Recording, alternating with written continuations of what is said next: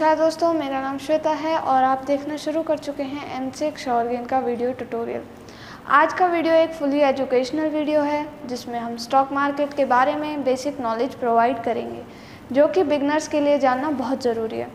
तो दोस्तों, क्या आप जानना चाहते हैं कि शेयर स्टॉक मार्केट क्या है? आइए स्टॉक मार्केट के बारे में कुछ बुनियादी ज्ञान प्राप्त करें।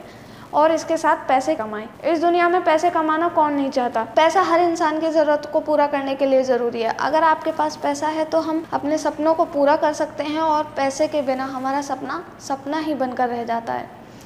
इसलिए आज की दुनिया में सभी लोग पैसे को ज़्यादा अहमियत देते हैं, क्योंकि पैसा है, तभी आपके पास इज़्ज़त, दौलत, घर, रिश्तेदार, दोस्त, ये सब कुछ है। दुनिया में पैसे कमाने के बहुत से ज़रिए हैं।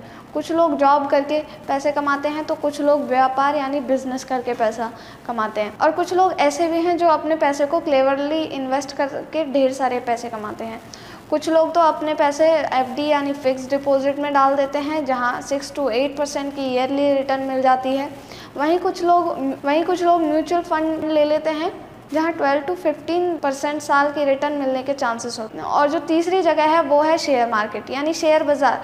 शेयर बाज़ार के बारे में सभी ने सुना होगा, मगर वहाँ क्या होता है, इसका ज्ञान अभी सभी को नहीं है। इसलिए आज मैं आपको शेयर मार्केट क्या होता है और basic knowledge of share market के बारे में बताने जा रही हूँ। शेयर मार्केट और स्टॉक मार्केट एक ऐसा मार्केट है जहाँ बहुत सी कंपनीज़ के शेयर खरीदे और बेचे जाते हैं। ये एक ऐसी जगह है जहाँ कुछ लोग या तो बहुत पैसा कमा लेते हैं या अपने सारे पैसे गंवा देते हैं। किसी कंपनी का शेयर खरीदने का मतलब है उस कंपनी में हिस्सेदार बन जाना। आप जितने पैसे लगाएँगे, उसी के हिसाब से कुछ प्रतिशत के मालिक आप उस कंपनी के हो जाते हैं। जिसका मतलब यह है कि अगर कंपनी को भविष्य में मुनाफा होगा तो आपके लगाए हुए पैसे से दुगना पैसा आपको मिलेगा। अगर घाटा हुआ तो आपको एक पैसा भी नहीं मिलेगा, यानी आपको पूरी तरह से नुकसान होगा। जिस तरह शेयर मार्केट में पैसा बनाना आसान है, ठीक उसी तरह यहाँ पैसा गंवाना भी उतना ही आसान है, क्योंकि स्टॉक मार्केट में उतार चढ़ाव होते रहते हैं। आपको थोड़ा बहुत आइडिया मिल गया होगा कि शेयर मार्केट क्या है। चलिए अब जान लेते हैं कि स्टॉक मार्केट में इन्वेस्टमेंट कैसे स्टार्ट करनी है। स्टॉक मार्केट में इन्वेस्टमेंट करने से पहले आपके पास डीमेट अकाउंट होना बहुत ज़रूरी है। ये उसी तरह का अकाउंट होता है जैसे कि आपका बैंक अकाउंट होता है। फ़र्क बस इतना होता है कि बैंक अकाउंट में आपके पैसे सेफ़ रखे जाते हैं और इस अकाउंट में आपके खरीदे गए शेयर्स को सेफ़ रखा जाता है।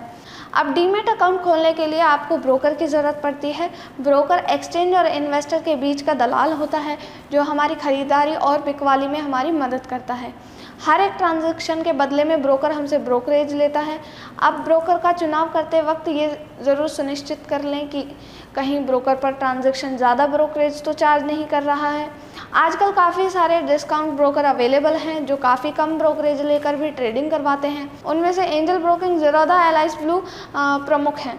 और भी काफ़ी सारे हैं, आप गूगल पर जाकर उनके बारे में जानकारी ले और अच्छे से ब्रोकर के पास अपना डीमेट अकाउंट ओपन करवा सकते हैं। आज के इस वीडियो को यहीं विराम देती हूँ। आशा करती हूँ आपको मेरे द्वारा दी गई जानकारी अच्छी लगी होगी। कल के वीडियो में हम शेयर मार्केट के बारे में जानेंगे कि कौन कौन सी मार्केट्स अवेलेबल हैं और उनमें किस तरह से ट्रेडिंग अपॉर्चुनिटीज़ अवेलेबल हैं। जो व्यूअर्स हमारी वीडियो को पहली बार देख रहे हैं, वो प्लीज़ हमारे चैनल को सब्सक्राइब कर लें और जो सब्सक्राइबर हैं, वो लाइक कमेंट करके ज़रूर बताएँ कि आपको वीडियो कैसा लगा। मिलती हूँ आपसे अगले वीडियो में। तब तक के लिए bye bye, take care, happy trading.